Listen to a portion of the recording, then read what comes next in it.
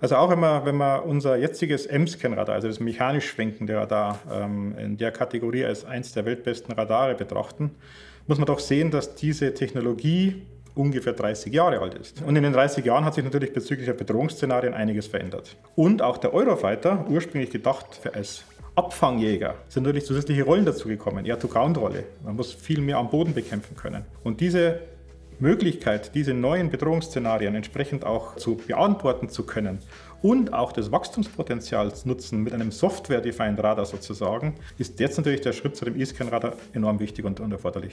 Der wesentliche zusätzliche Schritt ist ähm, die Breitbandfähigkeit. Das jetzige Radar hatte hat bestimmte Einschränkungen bezüglich der Breitbandfähigkeit, die bestimmte Einschränkungen in den Anwendungsfällen gibt. Zum Beispiel eine verbesserte ähm, Bildqualität eines Radarmappings am Boden zum Beispiel oder auch die höhere Störfestigkeit gegenüber Einstrahlungen von entsprechenden äh, Abwehrmaßnahmen von gegnerischen Flugzeugen oder gegnerischen Bodenstationen. Dazu dient jetzt eben auch die Erweiterung mit dem Multichannel Receiver. Also für Hensoldt gibt es natürlich zwei Dimensionen. Einmal, äh, du hast es schon erwähnt, das ist äh, für uns der, in unserer Historie der größte Auftrag, den wir je reinholen.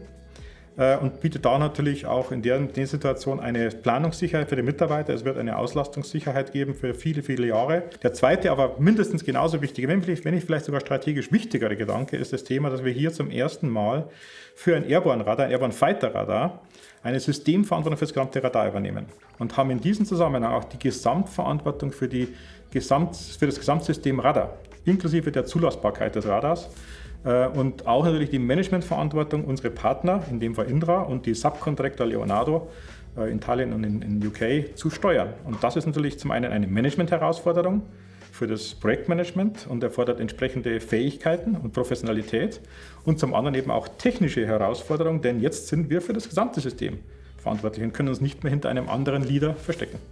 Wenn wir für, als deutsche Industrie für so einen Sensor, der der Schlüsselsensor im Produkt in dem Flugzeug äh, Eurofighter ist, verantwortlich sind, spiegelt sich die Verantwortung natürlich auf der Kundenseite. Das heißt, jetzt haben wir die Möglichkeit zum ersten Mal mit nationalem Partner Deutschland und auch über den Partner Indra mit dem nationalen Partner in Spanien das Produkt auch operationell weiterzubringen. Das heißt, hier wird ja auch angedacht, hier ein, eine Art Erprobungsteam zu bauen, gemeinsam zwischen Luftwaffe, den Beschaffungsbehörden, und der Industrie, das Produkt sozusagen möglichst nah an den operationellen Einsatzbedürfnissen weiterzuentwickeln.